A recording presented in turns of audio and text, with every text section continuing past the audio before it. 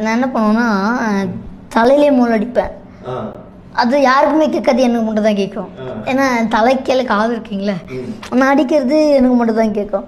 நான் என்ன பண்ணுவேன் அப்படியே அடிச்சிட்டு இருப்பேன் எங்கள் ஆயா வந்து திட்டுவாங்க. என்னடா பைத்தியம் போல தலையில் அடிச்சிட்டு இருக்கேன் இன்னும் பைத்தியமே ஆடுவேன் your party was right body hashtag we பாட்டி எல் கிட் நான் இந்த பையனை பற்றி நான் பேசும்போது லைக் நிறைய கமெண்ட்ஸ் வந்தது. என்னன்னா நீ வந்து என்ன கிறிஸ்டியானிட்டிக்கு வந்து ஆப்போசிட்டாக பேசுகிற ஜீசஸை பற்றி தப்பாக பேச அந்த வீடியோவில் நான் தெளிவாக சொல்லியிருப்பேன். எனக்கு ஜீசஸ் பிடிக்கும். ஒரு சின்ன பையன் வந்துட்டு இன்னும் லைக் அவன் வளரவே இல்லை. வளர்றதை தாண்டி அவன் குட்டி பையன் அவனோட குழந்தை பருவத்தை இழக்கிறான். புரியுதா? அவனோட சைல்டுஹுட்டை வந்து இழந்துகிட்டு இருக்கான். எல்லாம் ஒன்று நோட் பண்ணிக்கோங்க. ஒரு கடவுளை போய் வேண்டுறதோ எல்லா ரிலிஜனும் சேர்த்து நான் பேசுறேன். இந்த சாமியை போய் கும்பிடாத ஜீசஸ் போய் சர்ச்சில் போய் இது பண்ணாத அது தப்பாவே நான் சொல்லல. ஆனா எனக்கு இதெல்லாம் இருக்கு. நான் அதிசய குழந்தை நான் தெய்வ குழந்தை அப்படி இப்படின்னு சொல்றது தான் என்னால் ஏத்துக்க முடியல. அந்த ஒன்பது மாசம் ஒன்பது நாள் அவன் மாத்தி சொல்லிட்டான்ட்டு அவ்வளோ பேர் நீங்க சொல்றீங்க.